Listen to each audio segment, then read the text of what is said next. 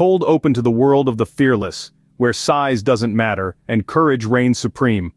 In this realm, the title of most fearless animal goes to none other than the pint-sized honey badger.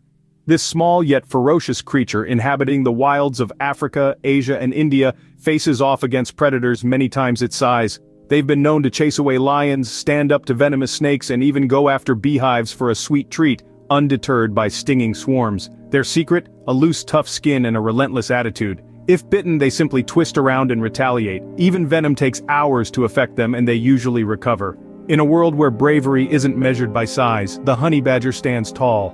Remember, it's not about the size of the animal in the fight, but the size of the fight in the animal.